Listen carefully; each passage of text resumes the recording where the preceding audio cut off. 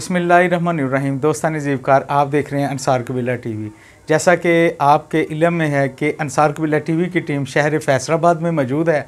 और शहर फैसलाबाद एक ऐसा शहर है जहाँ जिस तरफ़ भी जाएँ, हमें अनसार कबीला फैसलाबाद की जो मोज़ शख्सियात हैं, जो नुमाया शख्सियात हैं, जो इस शहर में अपने कबीले के लिए, अपने शहर के लिए, अपने वतन के लिए कावशों में मसरूफ़ अमल रही हैं या रहती थी, उनसे मुलाकातें भी जारी हैं और उनकी कुर्बतें, सहबतें भी मिल रही हैं।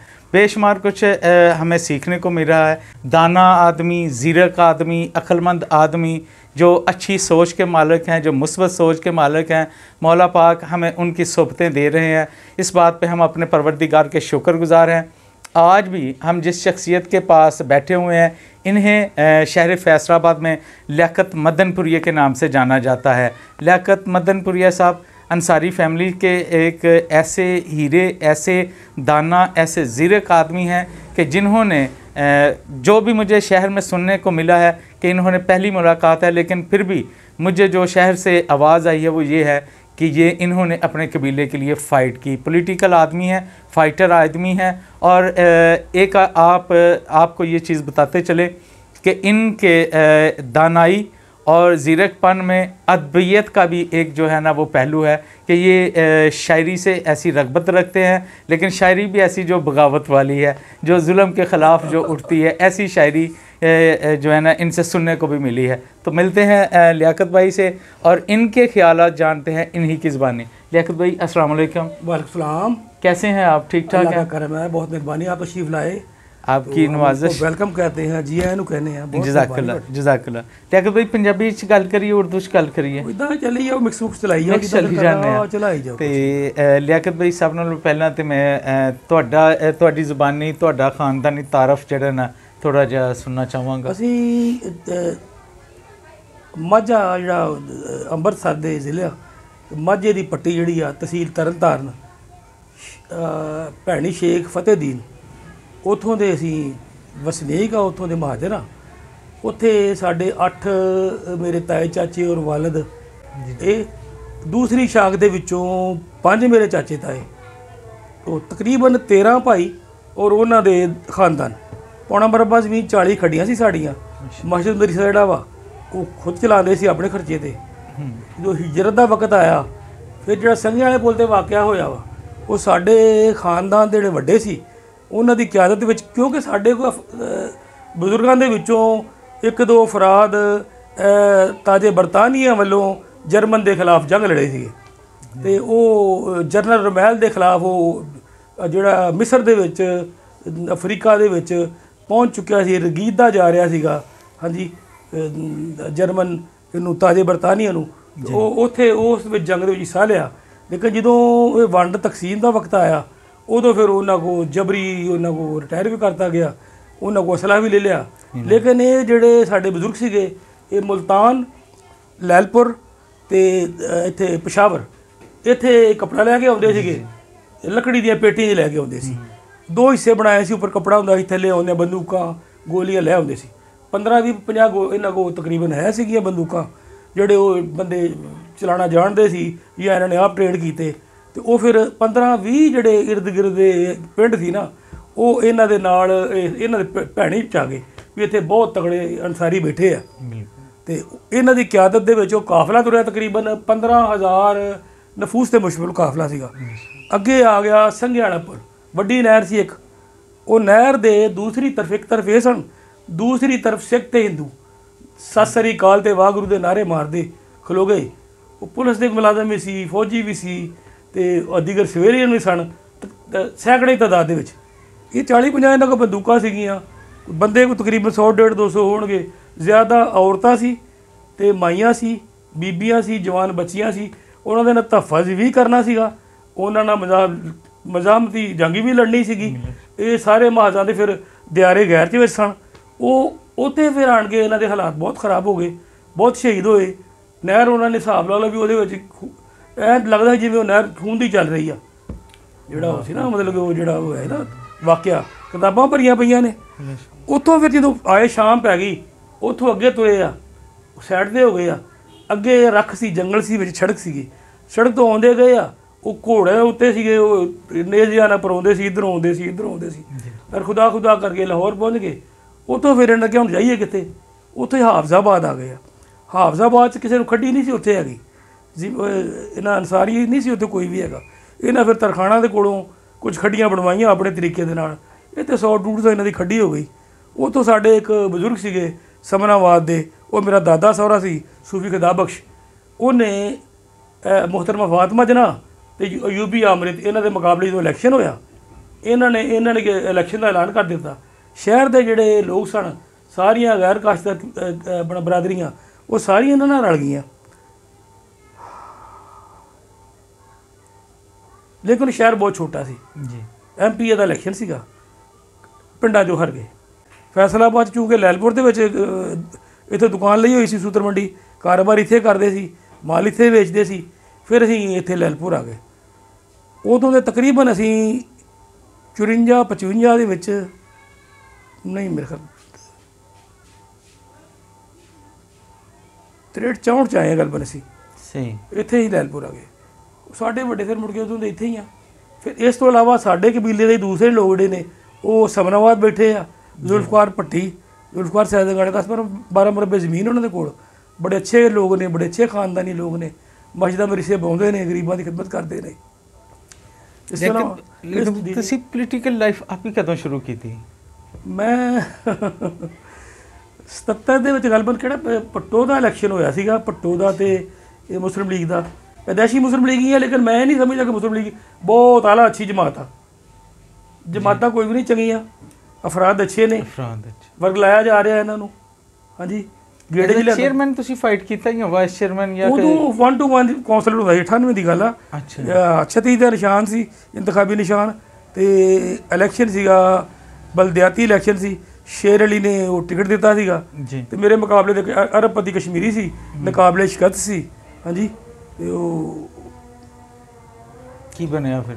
ਫਿਰ ਉਹ 3-400 ਵੋਟ ਖਰਾਬ ਕੀਤਾ ਕਸ਼ਮੀਰੀਆਂ ਨੇ ਮੇਰਾ। ਕਿਉਂਕਿ ਸ਼ੇਰ ਅਲੀ ਵੀ ਤਾਂ ਕਸ਼ਮੀਰੀ ਹੈ ਨਾ। ਜੀ ਬਿਲਕੁਲ।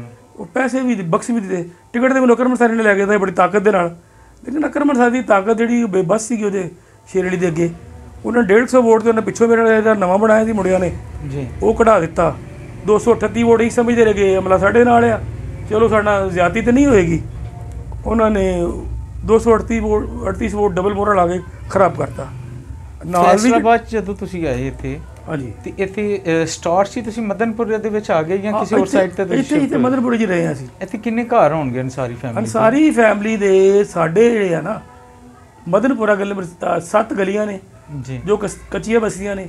ਇਹਦੇ ਵਿੱਚ ਜਿਹੜੇ ਸਭ ਤੋਂ ਜ਼ਿਆਦਾ ਵੱਡਾ ਕਬੀਲਾ ਹੈ ਨਾ ਬੈਨੀਵਾਲ ਕਬੀਲਾ ਸਾਡਾ ਹੀ ਆ। ਅੱਛਾ। ਉਸ ਤੋਂ ਬਾਅਦ ਮੱਤੇਵਾਲ ਕਬੀਲਾ ਵਾ ਉਹ ਵੀ ਸਾਡੇ ਅਜ਼ੀਜ਼ ਨੇ ਕਰੀਬੀ। ਠੀਕ ਹੈ। ਮਹਿਤਾ ਕਬੀਲਾ ਵਾ ਹਾਂਜੀ। ਤੇ ਉਹ ਹਾਜੀ ਅਬਦੁਲ ਰਸ਼ੀਦ ਰਫਸ਼ੀਦਾ ਉਹਨਾਂ ਦਾ ਇਹ ਵੇਲੇ ਸਭ ਵੱਡਾ ਹੈ ਅਲੀ ਮਹਿਤੀ ਇਹਨਾਂ ਦਾ ਵਾਰਦ ਹੁੰਦਾ ਸੀ ਪੀਪਲ ਪਾਰਟੀ ਦਾ ਬਹੁਤ ਆਲਾ ਕ- ਸਹੀ। ਕਾਰਕੁਨ ਸੀਗਾ।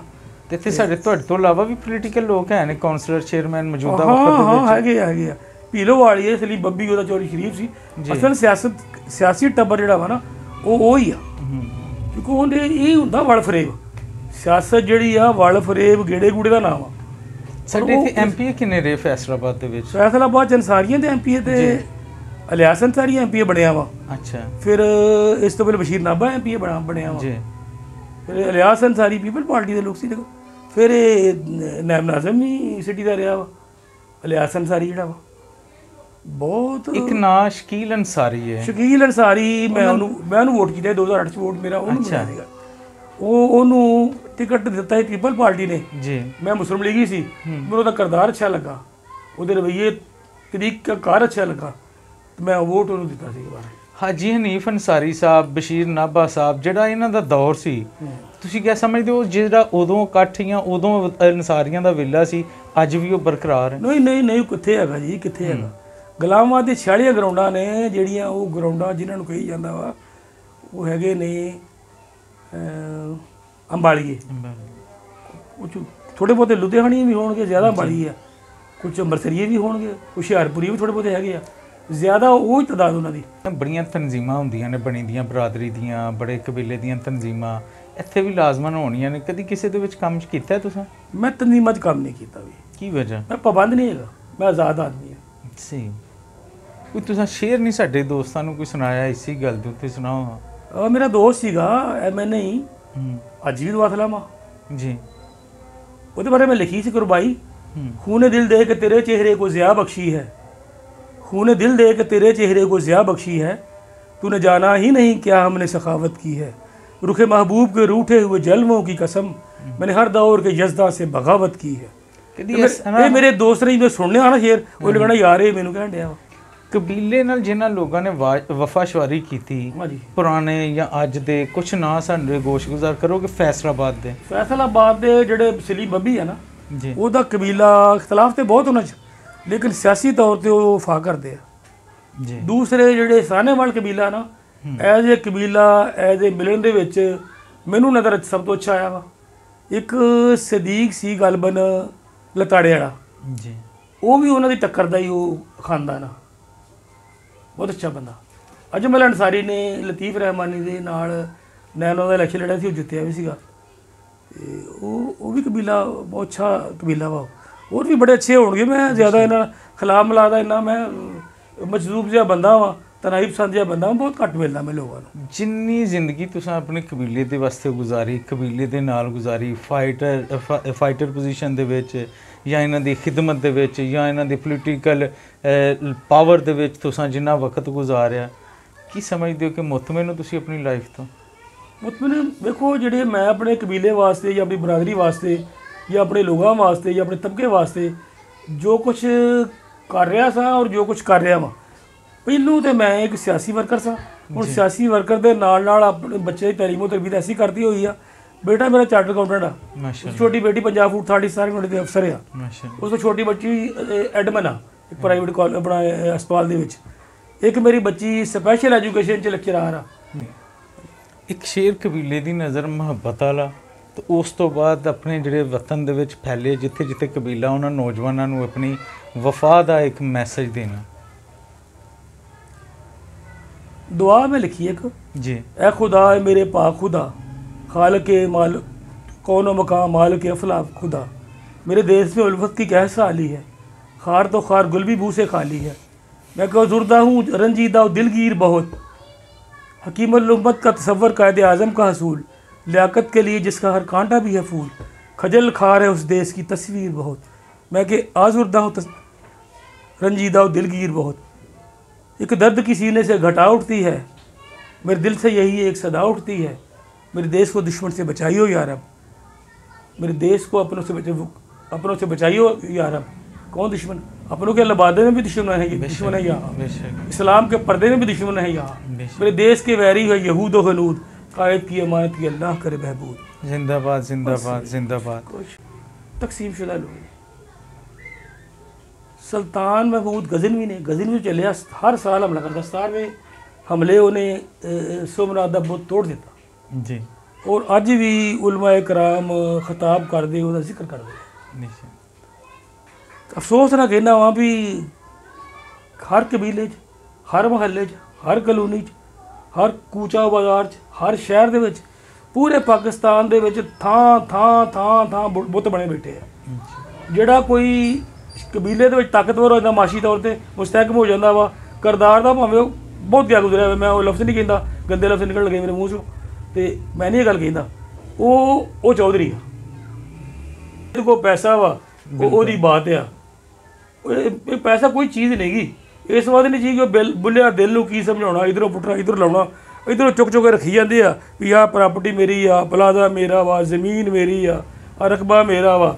ਉਹ ਤਾਂ ਜਦੋਂ ਦੁਨੀਆ ਤੋਂ ਜਾਂਦਾ ਵਾ। ਅੱਜ ਇਹ ਦੱਸੋ ਹਾਂ ਆਪਣੇ ਕਬੀਲੇ ਦਾ ਲੋਗੋ ਜਿਹੜਾ ਹੈ ਇਹ ਵੇਖ ਕੇ ਖੁਸ਼ੀ ਮਹਿਸੂਸ ਹੁੰਦੀ ਹੈ ਮੈਨੂੰ ਕਿ ਬਹੁਤ ਖੁਸ਼ੀ ਹੈ। ਇਹ ਕੋਈ ਬਹੁਤ ਲਫ਼ਜ਼ ਦੱਸੋ ਹਾਂ ਸਾਨੂੰ ਕੋਈ ਰਹਿਨਮਾਈ ਵੀ ਹੋਏ ਸਾਡੀ ਹੌਸਲਾ ਅਫਜ਼ਾਈ ਵੀ ਹੋਏ ਪਰ ਮਾਯੂਸ ਨਹੀਂ ਹੋਣਾ ਤੁਸੀਂ मैं बस तारा शहर से उम्मीदें बाहर रख। मिलत के साथ रहा इस्तवा रख। मायूस तो नहीं ना होना मायूसी तो गुनाह वा। बेशक शुभ दोस्तान जीवकार आपने देखा आपने जाना आपने सुना लियाकत भाई की प्यारी बातें। शहर फैसलाबाद है मोज़ शख्सियात हैं अनसार कबीला टी वी है और यहाँ के अहवाल आपके सामने लाने में कोई देरी नहीं कर रहा। रोज़ाना दो चार शख्सियात के जो ख्याल हैं, जो अहवाल हैं, शहर फैसलाबाद में अंसार कबीले के, वो आपके सामने लाए जा रहे हैं। उनकी एक्टिविटीज़, उनकी जो मोहब्बत है अपने कबीले के साथ, जो उनकी कुर्बानियाँ हैं अपने के, अपनों उन उन्होंने दी हैं अपनों के लिए, वो भी आपके सामने लाई जा रही हैं। लियाकत भाई के भी मशहूर हैं, आप लोगों के भी मशहूर हैं कि हमेशा आपने हमारी हौसला अफजाई की, हमेशा आप लोगों ने भी हमारी रहनमई की। इन्हीं अल्फाज के साथ आपसे इजाज़त चाहते हैं। फिर मिलेंगे नए अंदाज में, नए प्रोग्राम के साथ। तब तक के लिए इजाज़त। अल्लाह ताला आप सबका हामी नासर हो। शहर फैसलाबाद, जिंदाबाद। लियाकत भाई जिंदाबाद। शहर चुंडा जिंदाबाद।